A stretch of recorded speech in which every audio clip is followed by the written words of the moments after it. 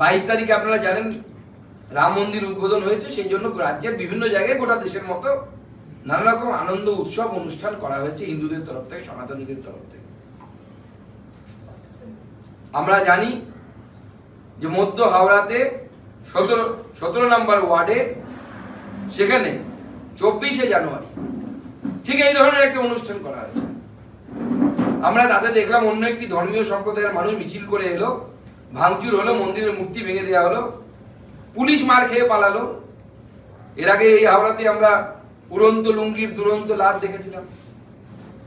পুলিশকে পরে দেখেছিলাম খাবারের ব্যাগ নিয়ে তাদের বাড়িতে যাওয়ার জন্য যারা পুলিশকে লাথি মেরেছিল। মূর্তি ভাঙা হলো, মন্দির ভাঙা হলো, আমি ছাব্বিশ তারিখে যেতে গেলাম দেখা করার জন্য মানুষের সাথে কনফিডেন্স দেওয়ার জন্য। একশো চুয়াল্লিশ ধারার অজুহাত দিয়ে আমাকে আটকে দেওয়া হলো। গতকাল রাতে কুচবিহারে দিনহাটাতে রাম মন্দির তৈরি হচ্ছে। সেই রাম মন্দিরের পাথর, সরঞ্জাম এগুলো সমস্ত কিছু ভেঙে দেওয়া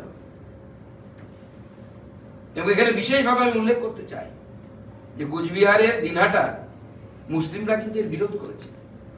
রাম সকলকে এক করছে। কিন্তু তৃণমূল চাইছে যে উস্কানিমূলক কাজ করে পশ্চিমবঙ্গের সাম্প্রদায়িক সম্প্রীতিকে বিনষ্ট করা।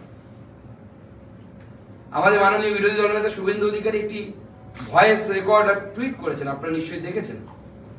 সেখানে তৃণমূলের নেতা উত্তম সর্দার সন্দেশকালী নেতা সব শেখ শাহজাহানের চাকর বাকর যারা আর কি। তারা প্ল্যান করছে যে দুশো হিন্দু বাড়ি আছে, সেখানে গিয়ে তাদেরকে পেটাতে হবে। এইভাবে গোটা রাজ্যে পুরো শান্তি শৃঙ্খলাকে বিনষ্ট করে তোষণ ভোট অ্যাপিজমেন্ট ভোট যাকে বলে সেই অ্যাপিজমেন্ট ভোট নেওয়ার জন্য মুখ্যমন্ত্রী উঠে পড়ে লেগেছেন। অ্যাপিজমেন্ট পলিটিক্স মুখ্যমন্ত্রী করছেন।